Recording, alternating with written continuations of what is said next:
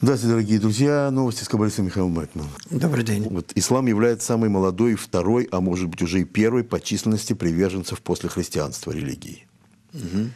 В чем популярность этой религии? Вот почему она вдруг рванула, эта религия? Ну, однозначно Каббала указывает на то, что в конце дней мира, то есть когда он будет приходить к своему правильному завершению, то есть всеобщему объединению, то перед этим будет период, когда ислам станет самой сильной религией или самым сильным движением мира. Это уже написано. То есть Это уже написано в Кабале и написано уже тысячи лет назад.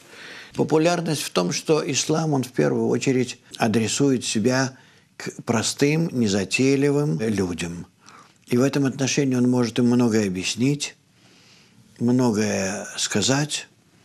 Сегодня нет ни одной религии, ни одного течения – силы противостоять этому, потому что они все уже одрехлевшие.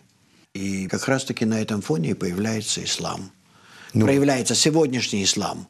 Это тоже надо понять, что это не тот ислам, который был в течение веков э, в дремлющем состоянии, в э, степях и пустынях аравийских, э, э, североафриканских, азиатских и так далее, там, вплоть до Афганистана и прочее.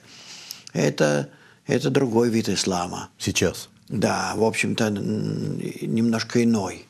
А, ну, а если говорить вообще об исламе, то ислам настоящий – это ислам, который говорит об объединении, это ислам, который говорит о э, равенстве, это ислам, который является отображением иудаизма – то есть этому есть мощный духовный корень. Да, вообще. это суфизм. Суфизм. Суфизм. Но этот суфизм сегодня, он полностью задавлен. Он, к сожалению, не популярен. Суфисты все убежали из арабских стран и доживают свое э, в других странах. Я с ними встречался и в Америке, и в Голландии, и в Англии. И в Англии.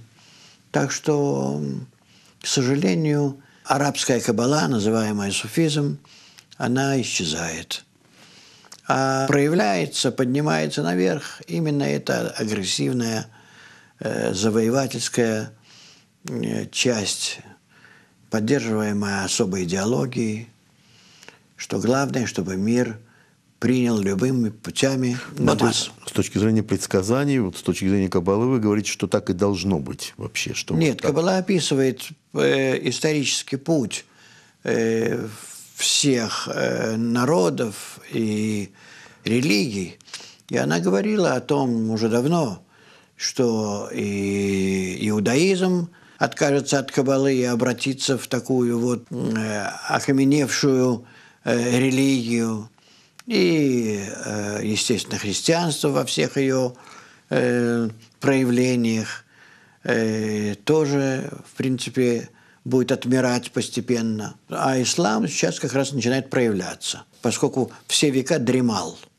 С VI века нашей эры и до сегодняшнего дня, то есть где-то 15 веков, он находился в дреме. Ждал такого, да? Ну, это не ждал, это постепенно, да. Но сейчас он должен вспыхнуть и через какое-то время тоже угаснуть, как и все эти э, религии. Потому что все они не раскрывают на самом деле высший мир – и поэтому человечество, развиваясь, не может удовлетвориться ими.